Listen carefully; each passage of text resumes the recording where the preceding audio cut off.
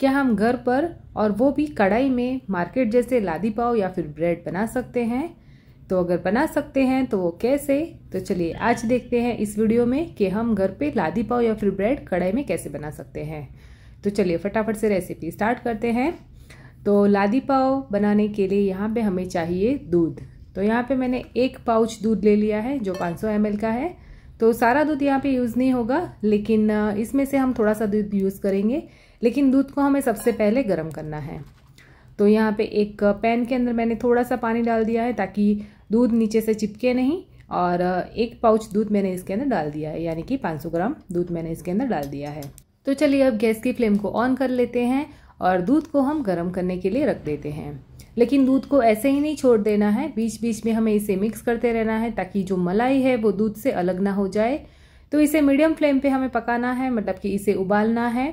एक उबाल आने के बाद इसे हमें दो से तीन मिनट अच्छे से उबाल लेना है, ताकि दूध थोड़ा सा गाढ़ा हो जाए और थोड़ा सा रिड्यूस हो जाए। तो यहाँ पे तकरीबन 300 सौ जितना दूध बचे, उतना हमें उसे उबालना है।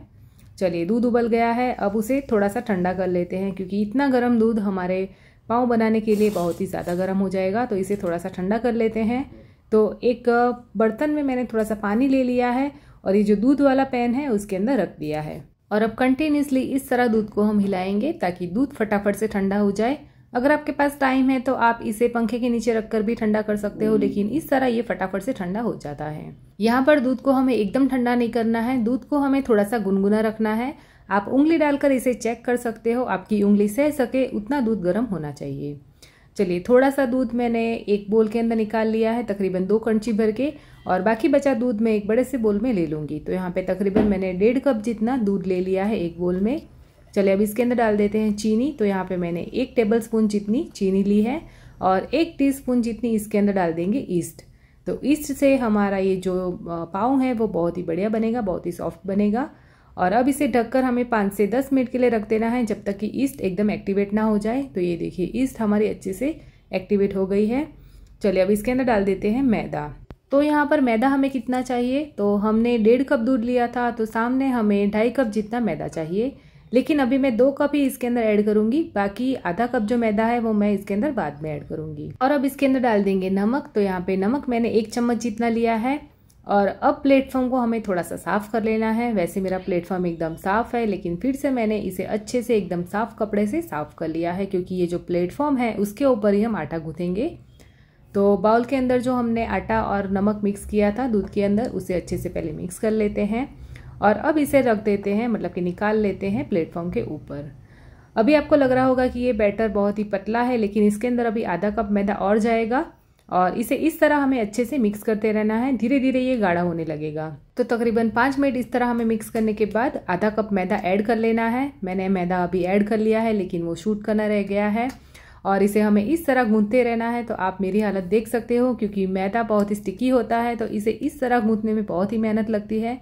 तो तकरीबन मैंने इसे आठ से दस मिनट गूंथ लिया है, और अब इसके अंदर ऐड कर देंगे बटर। तो यहाँ पे मैंने दो टेबल स्पून बटर लिया है और बटर डालने के बाद इसे हमें फिर से सात से आठ मिनट इस तरह खींचते हुए गूंथना है।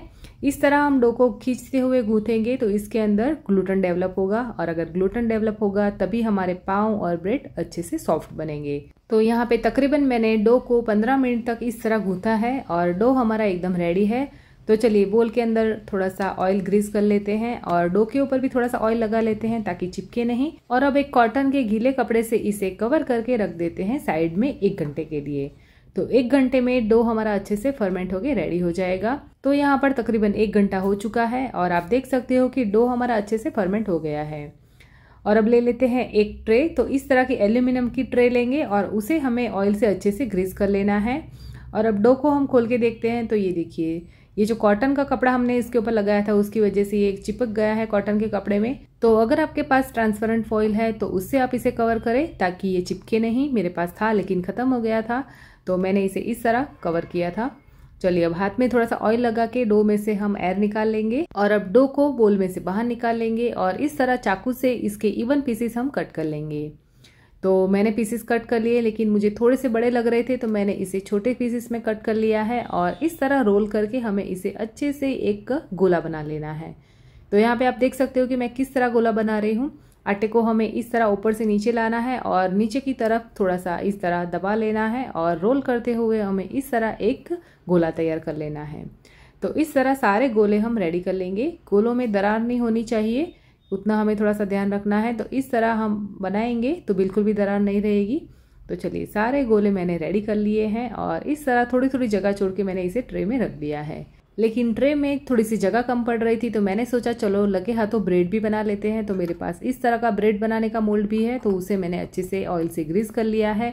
और ये जो बचा हुआ डो है, उसे हमें इस तरह फैला लेना है और ये जो मोल्ड हमने रेडी किया है, उसके अंदर रख देना है। तो इस तरह हम ब्रेड भी घर पे इजीली बना सकते हैं। तो एक ही बारी में हमने ब्रेड और पाव दोनों बना लिए हैं। मतलब कि अभी बनाए नहीं है, बनना बाकी है। चलिए, अब ये जो डो मतलब कि ये जो गोले हमने रेडी किए हैं, उसके ऊपर लगा देते हैं दूध, जो हमने पहले थोड़ा सा निकाल के रखा था। तो ब्रेड वाला जो मोल्ड है उसके ऊपर भी लगा लेंगे और ये जो गोले हमने बनाए हैं पाँव वाले, उसके ऊपर भी थोड़ा थोड़ा दूध लगा लेंगे। और अब इसे फिर से कॉटन के गीले कपड़े से ढक कर हमें एक घंटे के लिए रख देना है ताकि ये जो डो है अच्छे से फूल जाए। और ये जो दूध बचा था उसमें मैंने एक चम्मच भर के चीनी डाल दी है और उसे साइड में रख दिया है ताकि एक घंटे में चीनी अच्छे से मेल्ट हो जाए। चलिए, अब यहाँ पे मैंने ले ली है एक कढ़ाई और एक पतीला। तो यहाँ पे एल्यूमिनियम के बर्तन हमें चाहिए तो इस तरह के एल्यूमिनियम की कढ़ाई सबके घर में होती ही है। और अगर नहीं है तो इस तरह का पतीला भी होगा। तो दोनों में हम डाल देंगे नमक। ये नमक मैं बार बार यूज़ करती हूँ। जब भी मुझे बेकिंग करनी होती है, तभी इसी नमक का यूज़ मैं फिर से करती हूँ और यूज़ हो जाने के बाद वापस से इसे प्लास्टिक बैग में भर कर रख देती हूँ, ताकि मैं दोबारा इसे यूज़ कर सकूँ। चलिए अब दोनों में मैंने नमक डाल दिया है और इसके ऊपर ढक्कन लगा दिया है और गैस की फ्लेम को भी मैंने ऑन कर दिया है। गैस की फ्लेम को हम अभी हाई रखेंगे, ताकि हमारा जो होममेड अवन है, वो प्रीहीट हो जाए। अवन जब तक प्रीहीट हो रहा था, तब तक मैंने दोनों डो के ऊपर जो दूध के अंदर हमने चीनी गोली थी, वो वाला दूध इसके ऊपर लगा लिया है। चीनी वाला दूध लगाने से ये जो पाँव और ब्रेड है, उसके ऊपर कलर बहुत ही बढ़िया आता है। और यहाँ पर आपको लग रहा होगा कि मैं ये क्या कर रही हूँ। तो मुझसे थोड़ी सी बर्तन चूज़ करने में गलती हो गई। तो कढ़ाई मैंने ली थी, लेकिन इसके ऊपर रखने के लिए मेरे पास एकदम परफेक्ट ढक्कन नहीं था। तो थोड़ी सी प्रॉब्लम आ रही थी। तो मैंने बर्तन चेंज कर लिया है और ये जो ब्रेड वाला मोल्ड है, मैंने दूसरे बर्तन में रख दिया है, उसे ढक दिया है। और ये जो पतीला है, उसमें मैंने रख दिया है पाव वाला ट्रे। लेकिन इसमें भी थोड़ी सी गड़बड़ होने वाली है क्योंकि ये जो ढक्कन में ढक रही हूँ, बहुत ही रिस्की है। निकालने में थोड़ी सी भी इधर उधर हो जाएगी तो ये ट्रे नीचे गिर जाएगी। तो मैंने ट्रे को वापस से ये दूसरे बर्तन में ट्रांसफ़र किया और ये जो पतीला है, उसके अंदर मैंने रख दिया ब्रेड वाला मोल्ड तो आपने देखा कि मैंने इसमें कितना स्ट्रगल किया है, बहुत ही प्रॉब्लम हो रही थी मुझे। लेकिन फाइनली मेरे पाँव बन करके रेडी है। पंद्रह से बीस मिनट में ये पाँव बन करके रेडी हो गए थे। और यहाँ पे मीडियम फ्लेम पे मैंने दोनों को बेक किया है। तो चलिए फाइनली पाँव और ब्रेड बन करके रेडी है तो इसे निकाल लेते हैं। और अब इसके ऊपर लगा लेंगे बटर क्योंकि बटर लगाने से इसके ऊपर शाइनिंग बहुत ही बढ़िया आती है। और बटर लगाने के बाद इसे हमें फिर से ढककर पाँच मिनट के लिए रख देना है। तो गीले कपड़े से इसे ढककर रख देंगे। आप यहाँ पे देख सकते हो कि पाव और ब्रेड बहुत ही गर्म है, इसमें से भाप निकल रही है। और इस तरह गीले कपड़े से इसे ढककर रखने से ये बहुत ही सॉफ्ट बन जाते हैं। तो ये वाला स्टेप आप ज़रूर करें। चलिए, अब पाँच मिनट हो चुके हैं, कपड़े को हटा लेते हैं। और सबसे पहले हम डीमोल्ड करेंगे ब्रेड को। तो इस तरह चाकू से इसकी साइड्स को हमें छुड़ा लेना है। ये इजी इजीली छूट जाती है। और अब ब्रेड को हम करेंगे डीमोल्ड तो ये देखिए मोल्ड को मैंने उल्टा कर दिया। तो इजीली फटाफट से ये अपने आप ही ब्रेड निकल के आ गई।